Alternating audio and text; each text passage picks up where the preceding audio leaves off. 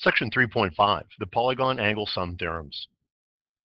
A polygon is a closed figure in a plane which its sides has segments that intersect only at their endpoints. Adjacent sides are not collinear. In the diagram, we have a polygon and its vertices are the endpoints of the segments, here A, B, C, D. We can label the polygon or name the polygon by those vertices. We can start at any point, here I chose B, and go counterclockwise, B, C, D, A. We could also go clockwise, B, A, D, C. And I chose another example, starting at point A, going clockwise, A, D, C, B. In other words, I can start at any vertice and go clockwise or counterclockwise, but we cannot go diagonally. The sides of the polygon are the segments that make up the polygon. Here I have segment AD, AB, BC, and DC.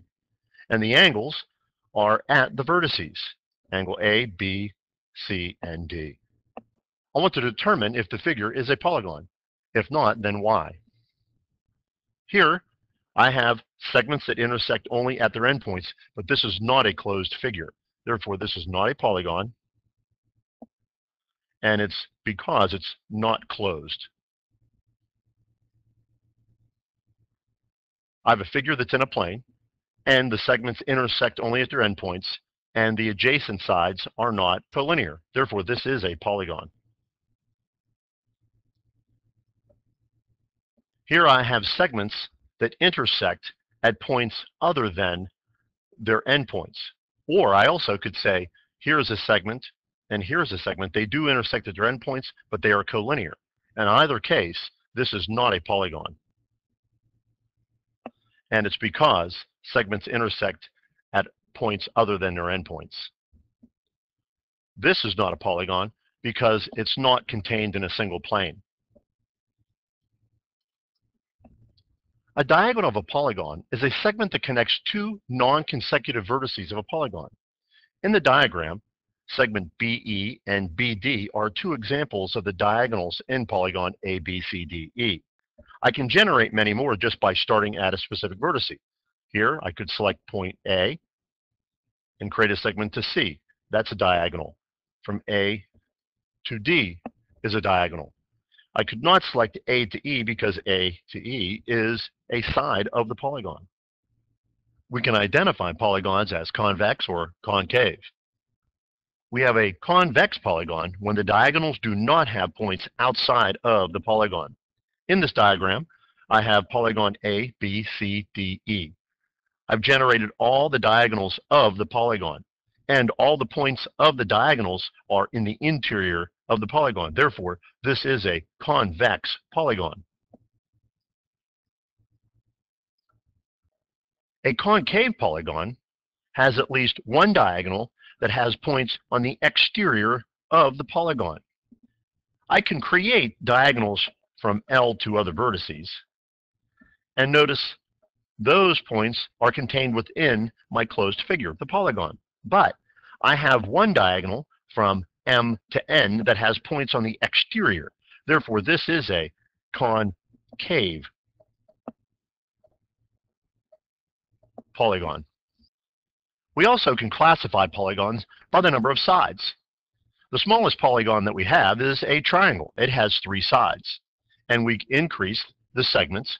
Four is a quadrilateral, five is a pentagon, six is a hexagon, eight is an octagon, nine is a nonagon, 10 is a decagon, 12 is a dodecagon, and any nth degree number of sides on a polygon is called an n-agon. Polygon angle sum theorem. The sum of the measures of an n-gon is n minus 2 times 180. n is the number of sides of a polygon. What we're trying to determine is the number of triangles that is created inside my polygon when I create one diagonal from one vertex. As you can see, I have one triangle, 3 minus 2 is 1, 1 times 180 is 180 degrees, but we know that from the triangle sum theorem. Here I have a four-sided figure, a quadrilateral. I have two triangles generated, 4 minus 2 is 2 times 180 is 360 degrees. I also know that I have two triangles, which is 180 plus 180, which is 360. A five-sided figure, I have a pentagon. I have one, two, three triangles. 5 minus 2 gives me 3 times 180, which is 540 degrees. Here I have a hexagon. I have 1, 2, 3, 4, or 6 minus 2 is 4 triangles times 180, gives me 720 degrees. On my next figure, I have an eight-sided figure. I know it's a octagon. The diagonals from one vertice creates one, two, three, four, five, six triangles, or 8 minus 2 is 6 times 180, or I have 1,080 degrees. Polygon exterior angle sum theorem. The sum of the measures of the exterior angle of a polygon, one at each vertex, is 360 degrees. I have a couple of examples here. Here I have a triangle. I made up some angles on the interior, 30 degrees, 50 degrees, 100 degrees. Of course, the triangle sum theorem is 180 degrees. And if I create an extension of sides at each vertice, one at each vertice, I can create supplementary angles or a linear pair. That gives me 80, 150, and 130. The sum of those three exterior angles is 360 degrees. Again, by the polygon exterior angle theorem, in this quadrilateral, if I find the sum of each of the exterior angles, one at each vertice, I should get 360 degrees. I created angles inside of my quadrilateral, find their linear pair. When I find their sum, I do get 360 degrees. An equilateral triangle is a triangle with all sides congruent. Therefore, an equilateral polygon is a polygon with all sides congruent. An equiangular triangle is a triangle with all angles congruent. An equiangular polygon is a polygon with all angles congruent. And we know if we have an equiangular polygon, then it must be equilateral. If it's equilateral, it must be equiangular. Therefore, we have a regular polygon, which is a polygon with all sides and all angles congruent. Find the sum of the measures of each polygon. Here I have 1, 2, 3, 4, 5, 6, 7, 8, 9, 10. I have a 10-sided polygon. And using the polygon interior angle sum theorem, I'm going to get n minus 2 times 180. I have 10 sides, 10 minus 2 times 180, 8 times 180, or 1,440 degrees. Here they tell me my polygon has 502 sides. When I substitute into my formula, here I have n minus 2 times 180. 502 minus 2 gives me 500 times 180. Or I have 90,000 degrees. On this example, they want me to find the missing angle measures of the polygon. Here I'm given a quadrilateral. I determine the interior angle sum, which I know is n minus 2 times 180, which gives me 360. I find the sum of the four angles, x plus x plus 90 plus 100. Simplify, I get 2x plus 190 equals 360. Subtract 190, I get 2x equals 170. And when I divide by 2, x is 85 degrees. On this example, I have a hexagon. I determine the interior angle sum, n minus 2 times 180, which gives me 720 degrees. Find the sum of the interior angles, m plus m plus 1.5m plus 1.5m plus 2m plus 2m. Simplify, I get 9m equals 720. Therefore, m is 80 degrees. When I substitute back in, I get an 80 degree angle, 80 degree angle. 1.5 times 80 is 120 degrees. 120 degrees. 2 times m is 160 and 160 degrees. In this example, they want me to find the measure of each interior and exterior angle in the polygon, then determine the interior angle sum. I'm given a regular hexagon a polygon with six sides that has all sides and all angles congruent. From the polygon exterior angle sum theorem, I know that the sum of the exterior angles must be 360 degrees. Also, I know that the interior angles each are congruent, and therefore each exterior angle, one at each vertex, must be congruent.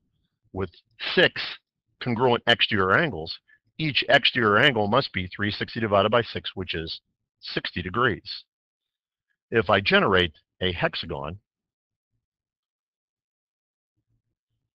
I know that the exterior angle, one at each vertex, must be 60 degrees.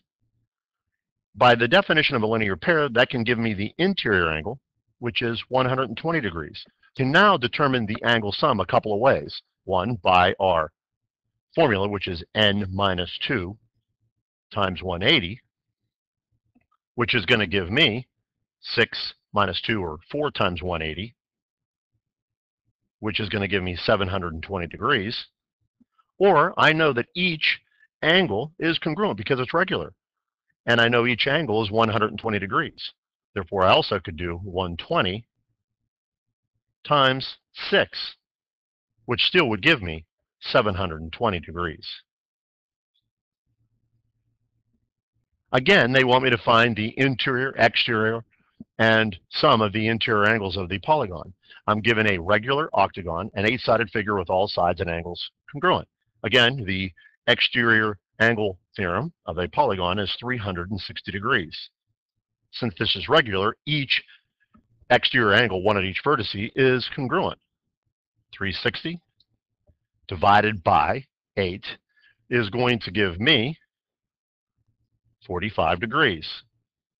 Therefore, when I draw an octagon,